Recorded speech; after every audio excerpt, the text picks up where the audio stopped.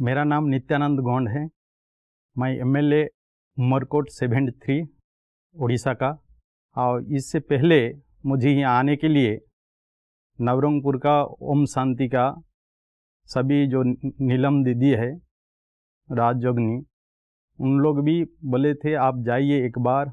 वो आने के बाद मैं यहाँ जब पहुँच गया तो विद्या भाई उन लोग, हम लोग को रिसीव किए हैं। रिसीव करने के बाद यहाँ लगा कि कभी नहीं आए थे हम लोग। यहाँ इतना सुंदर व्यवस्था है रहने के लिए लग, जब हम लोग गए कितना साफ़ सुथर इतना सुंदर व्यवस्था। और कार्यक्रम जब हम लोग पहुँच गए कार्यक्रम चल रहा था। और जाने के बाद इतना शांति मिला। बहुत सुंदर जगह है। और जो हम लोग सुनते थे यहाँ आने के बाद एक अलग प्रकार का अनुभव हुआ। सभी का गोल एक ही है और सबका मालिक एक ही है। हम लोग यहाँ माल, मालूम हो गया हम लोग को। तो हम हम लोग यहाँ से कुछ सीखना है। इतना सुंदर व्यवस्था। सिर्फ़ ये नहीं तो यहाँ से कुछ व्यवस्था के बारे में भी सीखना है। आज भी सरकार स्वच्छता के बारे में सरकार बोल रहा है कि देश को स्वच्छ बनाना है और स्वच्छता लाना है।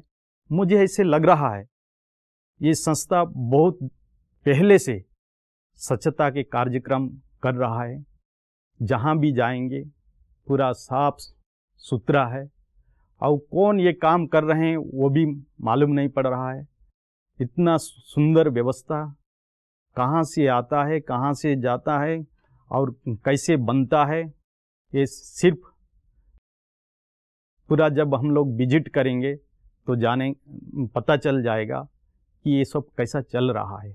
मुझे लग रहा है कि यही ये सब जो भी हो रहा है उसी सु, सुप्रीम पावर जो है उसी का शक्ति से बाबा का आशीर्वाद से ये सब कुछ हो रहा है।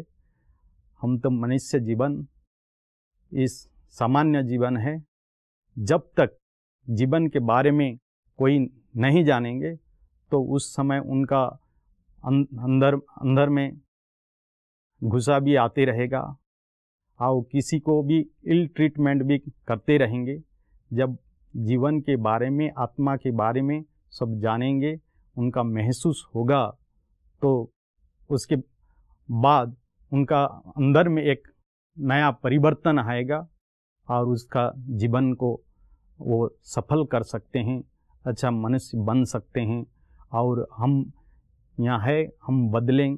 ये तो देश बदलेगा, दुनिया बदलेगा, इस प्रकार का मन में लेना है और काम करना है, तब तक हम चेंज कर सकते हैं।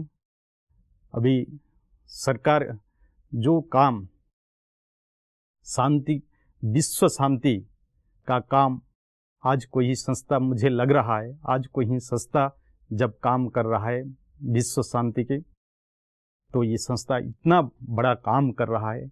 जब यहाँ आएँगे कोई, और इसका, इसके बारे में पूरा उनको मालूम होगा तो सारा विश्व भी, विश्व में शांति आ सकता है एक बड़ा परिवर्तन हो सकता है।